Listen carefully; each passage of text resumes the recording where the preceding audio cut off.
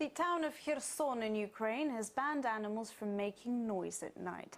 Pet owners now have to stop their furry friends from making noise between 10 at night and 8 in the morning.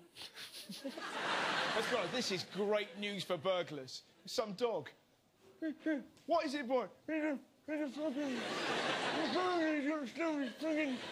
don't know what you're on about. It's a fucking burglar. I can't say it. What are you too fucking do? Bloke comes down in the morning. Oh, we've been burgled. I'm trying fucking tell. Not only that, they've done a shit on the floor. It wasn't me, it was a burglar. It isn't just dogs that they're clamping down on.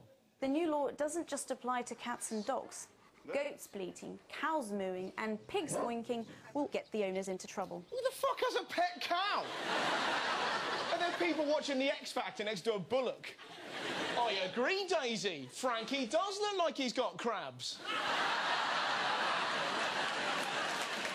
Why? Why stop pets from making noise? If you're going to silence any animal at night, it should be foxes. Have you ever heard them make love? It's terrifying. Pets aren't like that. If you ban pets from making noise, you'll miss out on dogs that sound like this.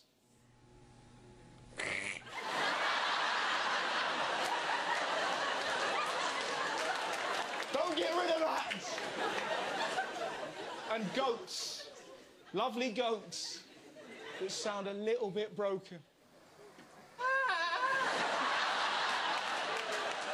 Don't get rid of those noises.